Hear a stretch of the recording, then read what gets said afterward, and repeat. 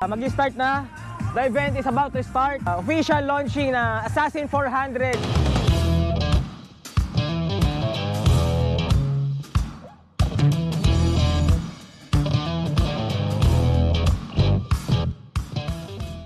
Kinikilig ako, itong epekto mo Kulang na lang tumakbo ako sa banyo Nakakata- Sound. Check. Sound.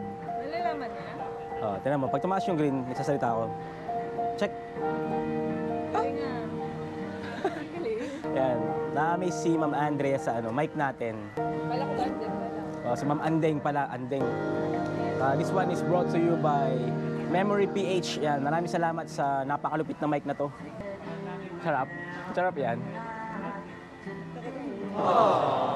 Ibusin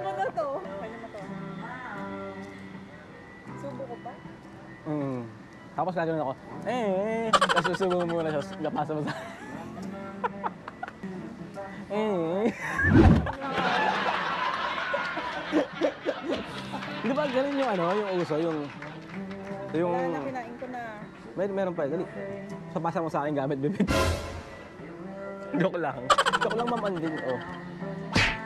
Ito na lang. Oo.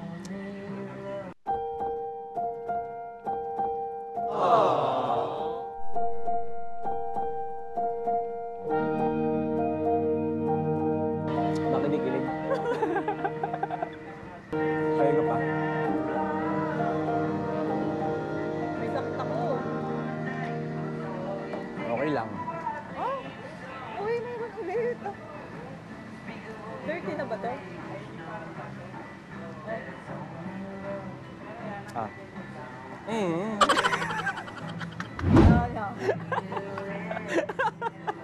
Sabi si Kulay.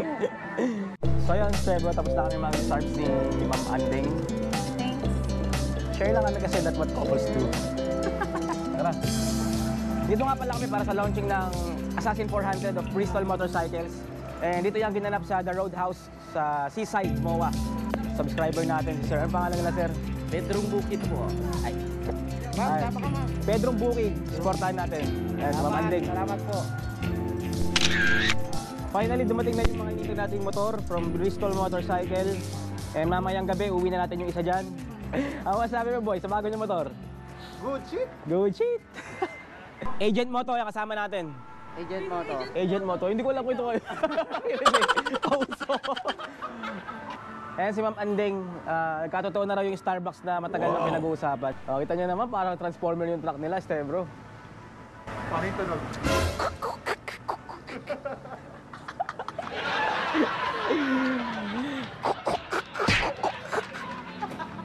Ang laptop si Ma'am Andeng, oh. Kinikilig ako, itong epekto mo Kulang na lang tumakbo ako Autobots, let's move out. Yeah, Autobots. Yeah. Parang ano nga eh. Bagay sa'yo. Sa height mo. Bagay sa'yo. Sa height mo. Grabe ka naman. Bagay sa'yo kasi yung height mo tsaka yung build ng body nung ano. mga gaya sa dating kasari bilang mo. yun. Actually, medyo, ano siya, compact siya, no? Siguro kung tatawagin natin to compact naked.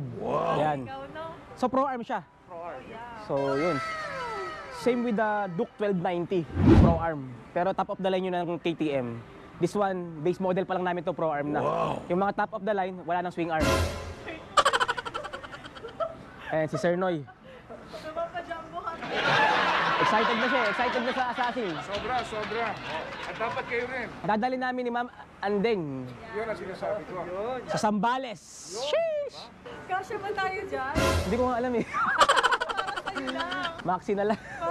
Sa'yo lang yan eh.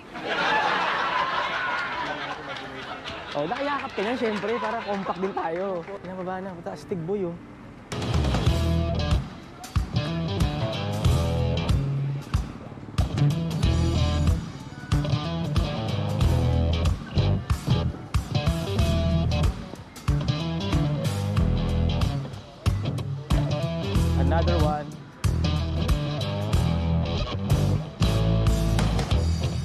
Caught my attention. Itong kulay ng bike na to. Mint green.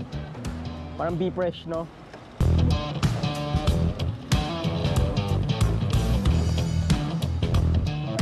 Para siya nakabalot ng ano, ng metallic uh, foil. Mamandeng, pili ka na. Anong color game gusto mo? Sige, ito sa eh, shoutout, naka-vlog tayo. okay, lastly, special edition of Assassin 400. Ah, napaka-premium niya kumpara sa ibang kulay. Assassin, pati mags niya, oh, complemented sa kulay ng kaha. So, twin cylinder, alam na natin. Oo. Ah, yung front fork, ang kanyang inverted fork is gold na rin compared dito sa standard which is black. So far, Pro Arm twin cylinder pa lang alam natin. Wow. And upside upside down fork. Ma'am, try mo, angkas ka.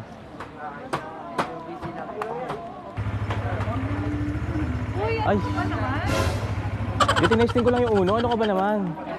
Malakas to, malakas to motor na to. Paano pag gumano, edi dapat nakayakap ka dito.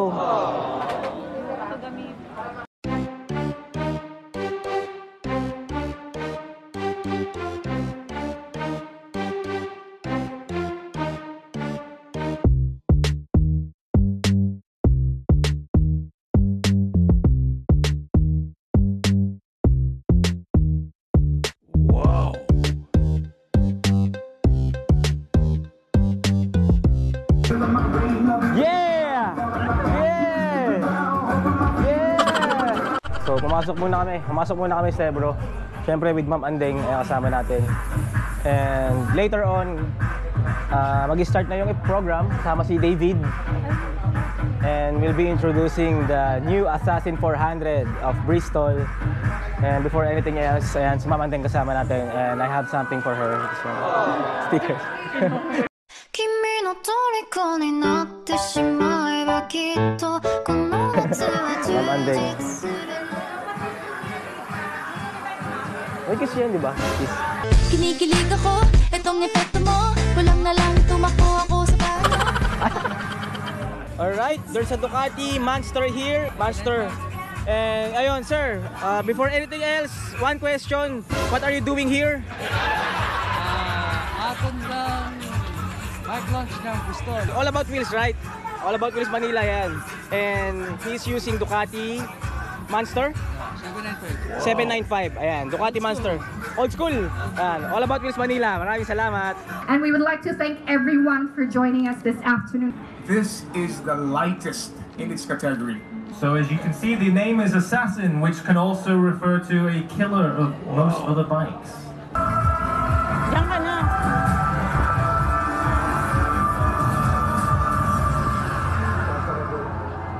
Going to sit with the Duke 390. Yeah, that's it. uh, I mean, also when you go on these long rides, Assassin we have new locations uh, that we are rolling out. We have already rolled out, okay, and we're continuing to roll out across the country. The clutch We is very smooth. uh, If you squeeze it, you can squeeze it using two fingers. finger. Let's go. Okay. Parang may ganito akong bike I'm na. gonna ask you a few questions Where is the afterwards. uncas? Where's Mama Andre? Uh, Mama We Andrea, have to keep it consistent. How's the seat height? seat height, uh, 5'4 ako pero sakto lang. Tiptoed pa rin pero manageable naman. Yeah, that's good. Si ano pala? Um, Porsche.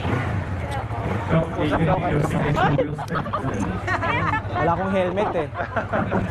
So, priority natin safety syempre. So, test drive lang muna natin. Tingnan natin yung ano niya. Yung first impression. there you go. David, You know what? We would also like How about if merong backride? Ano ba yung feedback? Kailangan try din natin, di ba? So, I'll ask Ma'am Andrea to experience being a backride sa Assassin 400. Assassin 400 once again top bikes right here. But also, I just want to highlight that this this this is a daily bike, so if you Angkas have a back rider, Andrea. aha, you have a perfect back rider. Ma'am Andrea, can you please out the potatoes? Without the mask. Yes. Without the mask, you only need the face review on YouTube, right? So, Moto Candy, bilisan mo! Yan, try na namin ni Ma'am Andre yung Assassin 400 kung comfortable, comfortable ba yung backride. Comfortable.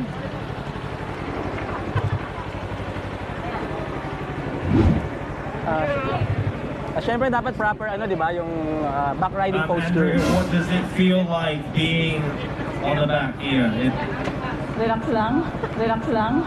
It was at this moment that he knew. He fucked up. there you go. There you go. Kinikilig ako, itong epekto mo Kulang na lang tumakbo ako sa Gago! Ikot lang tayo konti. Hindi, okay na. Ah, tingnan natin ah. 君の虜になってしまえばきっとこの夏は充実する Malakas yung preno. The brake is good. Malakas yung preno.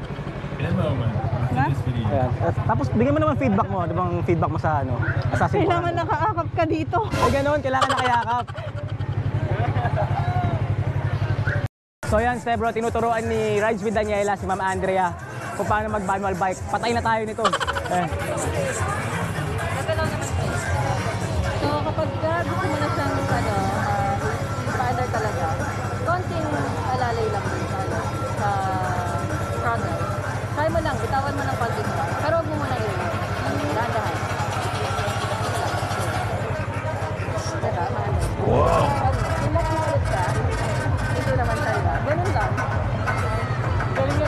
Magtuturo sa kanya. Mag-neutral na muna, neutral muna. Mami, yung brake, ganito mama. Hawakan mo ang aking kamay At tayong dalawa Sige ma'am, dalawa. Nandito. Siya, siya yung sa clutch. Hindi, mas magaling magturo yung babae sa babae, promise. Eh, di ba? Hindi, yung kamay muna ma'am, yung kamay. Ganun. Wala, alam ko na, tinuro na kita. Gago! Sige na ma'am, ako na magtutuloy. Ah,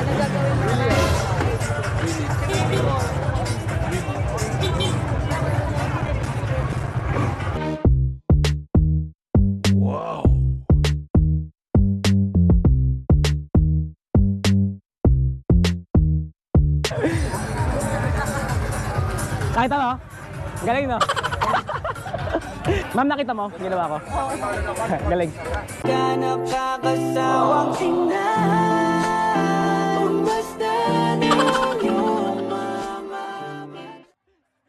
Again, Assassin 400. Ayan, Bristol Motorcycle, maraming salamat. More rides with this bike. Abangan nyo. Kami.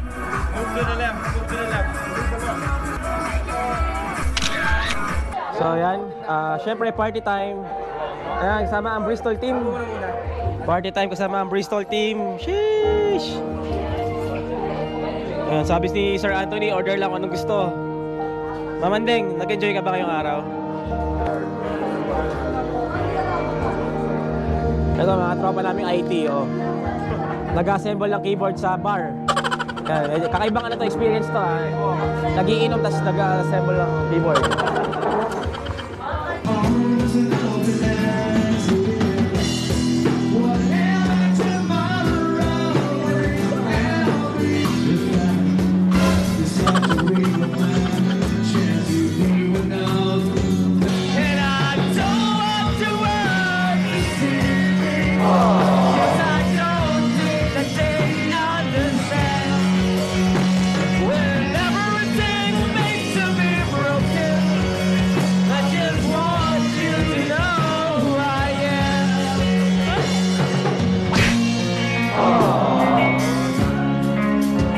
Salamat, Bristol family. Napakasaya ng gabi na to. Siyempre, kasama natin si Mama Andrea. Shit. Napaka-solid. Dahil solid dyan, di ka na nagtong bagsak.